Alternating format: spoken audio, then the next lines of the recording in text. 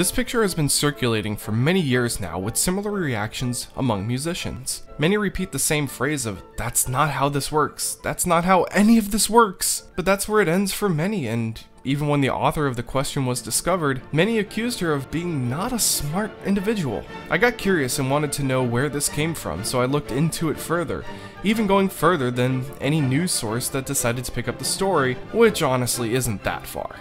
So, let's work our way backwards. There are actually two versions of the picture. The popular one gets traced back to a tweet by Doug Mataconis, and that's where news outlets end, unless they make it to the original worksheet. Doug's tweet received a lot of traction. Looking through the replies, we learned that it was found on a Facebook group. I'm not sure what Facebook group though. The picture that I found on a Facebook group from before Doug's tweet is different than his, and it may be possible he was the one who doctored the photo, but I can't be sure.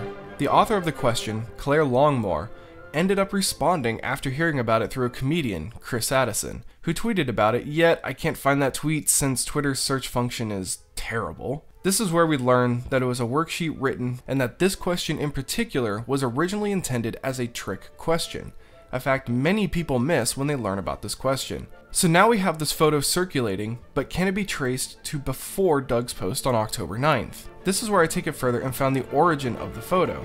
This Reddit post from October 6th. At least this seems to be the origin to me, and sadly that's where the story ends. I reached out to the poster a few months ago and still have not received a response, and I couldn't locate any earlier post with that image.